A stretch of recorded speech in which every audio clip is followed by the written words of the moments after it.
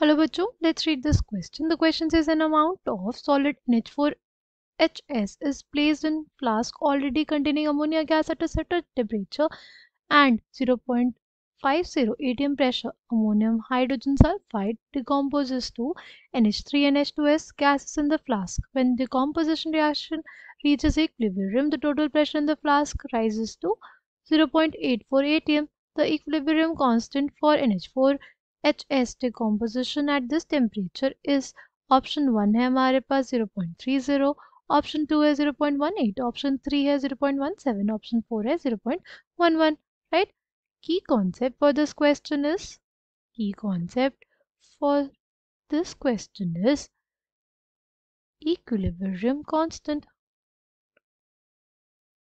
equilibrium constant right हमारे पास क्या है?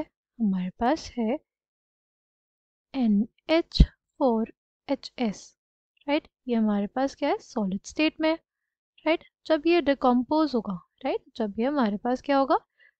डिकम्पोज होगा तो हमें क्या देगा? अमोनिया गैस देगा और एच टू एस गैस देगा, है ना? हमें क्या बोला है? T is equals to zero पे।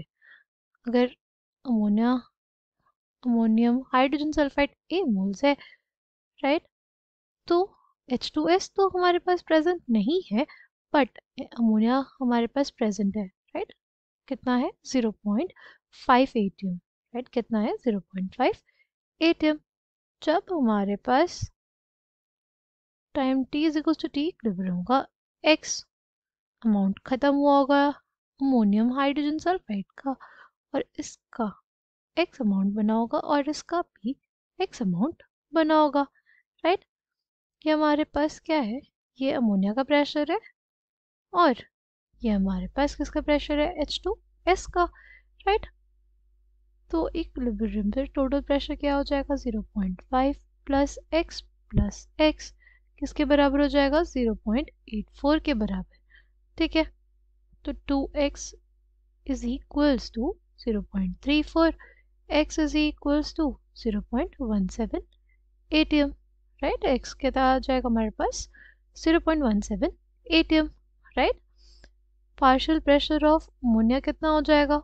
0.5 प्लस x है, यानी 0.5 प्लस 0.17 कितना? 0.67 atm राइट और अगर हम लोग बात करते हैं pressure of H two S की, वो क्या हो जाएगा हमारे पास? 0.17 atm राइट अब अगर हमें के पी लिखना होगा K P will be equals to partial pressure of ammonia multiplied by partial pressure of H two S कितना आ जाएगा? Zero point six seven into zero point one seven ये हमें कितनी वैल्यू दे देगा? ये हमारे पास आ जाएगा zero point one one three nine कितना आ जाएगा? Zero point one one three nine यानी कौन सा ऑप्शन करेक्ट हो जाएगा हमारे पास? Option four Option 4 will be the correct answer for this question. I hope you understood it well. Thank you and all the